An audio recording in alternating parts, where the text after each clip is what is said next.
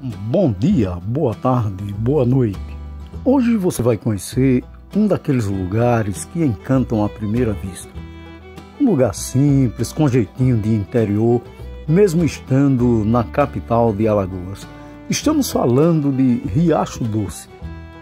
Na década de 1930, o escritor paraibano José Lins do Rego, é, encantado com a beleza do lugar, escreveu o romance Riacho Doce, que se transformou num dos maiores best-sellers do país. Hoje eu quero mostrar o Riacho Doce que talvez você não conheça, como eu também não conhecia. Em minhas passagens pelo bairro, é, indo ao litoral norte de Alagoas, sempre dava aquela paradinha para comprar aquelas guloseimas que as boleiras vendem às margens aí da rodovia.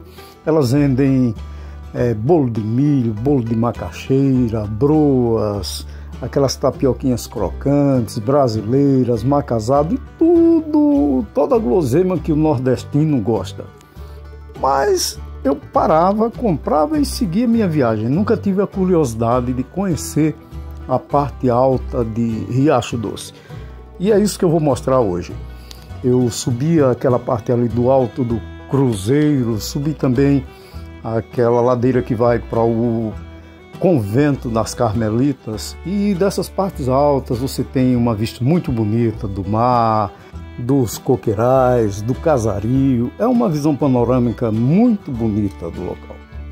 Se ao final do vídeo você achar que mereço, deixe seu like compartilhe, comente para que isso me incentive a produzir novos vídeos. Muito obrigado.